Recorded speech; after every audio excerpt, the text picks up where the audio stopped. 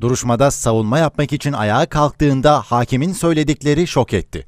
Kadın avukatın başına gelenler kamuoyunda büyük yankı uyandırdı. İstanbul 2. İş Mahkemesi Hakimi Mehmet Yoylu, duruşma sırasında avukat Tuğçe Çetin'e etek boyunuz çok kısa dedi. Avukatın eteğinin dizin üstünden 15 santimetre yukarıda olduğunu iddia etti ve durumun mevzuata aykırı olup olmadığını sordu.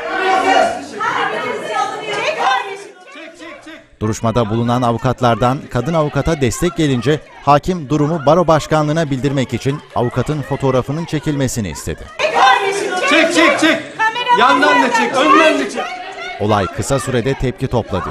Adalet Bakanı Abdülhamit Gül, sürecin takipçisi olacağını söylerken, Türkiye Barolar Birliği hakimin yetkisini kötüye kullandığını açıkladı.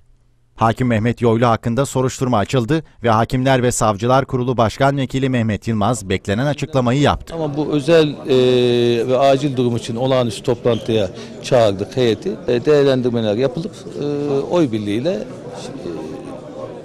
ilgili kanun gereğince e, açığa aldık. Öte yandan Mehmet Yoylu'nun sabıkası da bir hayli kabarık. Yoylu'nun daha önce 2012 yılında tartıştığı bir avukatı yumrukladığı, 2009'da da lojman etrafında bulunan bazı kişileri uzaklaştırmak için silahla iki el ateş ettiği ifade edildi. Avukat Tuğçe Çetin'e bu süreçte meslektaşlarından da büyük destek geldi. Mehmet Yoylu adliyede avukatlar tarafından protesto edildi. Avukat Çetin daha sonra eşiyle birlikte adliyeye aynı kıyafeti giyerek geldi.